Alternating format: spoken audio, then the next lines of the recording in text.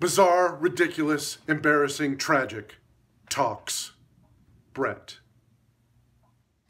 Let's, uh, real briefly, let's talk about the politics of climate change. Okay, here's the problem. People just like to take a position and then argue against it.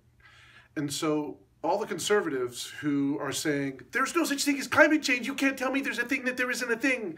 And then the, the, all the people on the other side are like look we have talked to the scientists and we're pretty convinced that the world's getting hotter and the hurricanes are getting bigger and uh, miami is flooding and that is all really happening. And then they come back and they go well but but it's just happening. It happens all the time. There was a there was a there was a time when the whole world was one continent and people didn't do that. That's a good argument.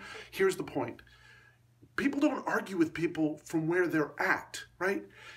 If you want to convince conservatives to fight climate change you you can't use that terminology. So i came up with a new idea. It's called the war on climate. We get them we get them where they feel it. Like the ang like get them mad at Earth. And then fighting, like, for example, right now there's three three freaking hurricanes in the middle of the Atlantic, right? War on hurricanes. Right?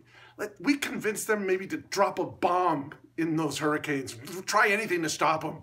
And Maybe a couple of failures and they'll just like they'll get mad and start getting behind it.